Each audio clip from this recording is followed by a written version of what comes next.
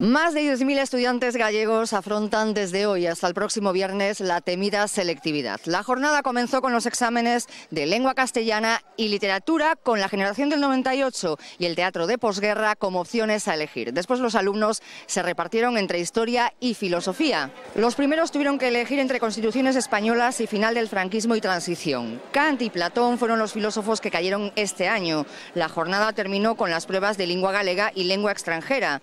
Nervios amuletos, falta de sueño, repasos de última hora y finalmente un balance positivo entre los alumnos. Lengua ha sido bastante fácil.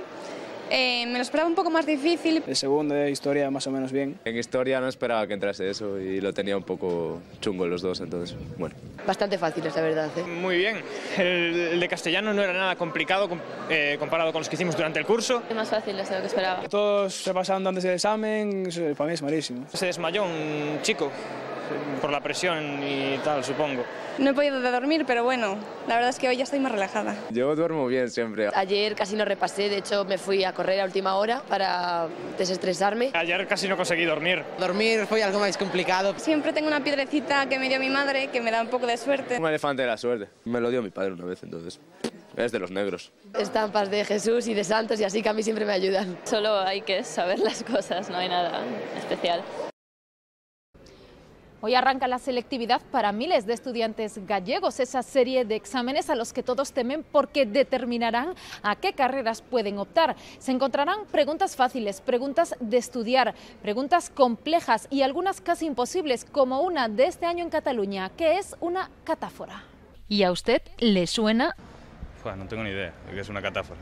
Salimos a la calle para ver quiénes aprobarían la selectividad. ¿Cuándo se produjo el atentado en el que murió el general Prim? En 1870, el 30 de diciembre. Este cuadro, ¿de Sorolla, de Kandinsky o de Munch? ¿De quién crees que es? De Sorolla no me parece. ¿De Munch? Kandinsky puede ser. O Kandinsky o Munch, quizá Kandinsky. En España, donde la pereza es más que un vicio, una religión. Se comprenden difícilmente esas monumentales obras de los químicos, naturalistas y médicos alemanes en las cuales... Solo el tiempo necesario para la ejecución de los dibujos y consulta bibliográfica parecen deber contarse por lustros. De Santiago Ramón y Cajal. Santiago Ramón y Cajal. ¿Con qué hecho histórico relacionas esta foto? A tercera, la proclamación de la Segunda República. Pues la tercera. ¿Cuál crees que es la opción correcta de esas tres que hay ahí? Esta no. Tarragona, no. Baleares tampoco, Madrid tampoco. Lleida tampoco. La primera sería para mí.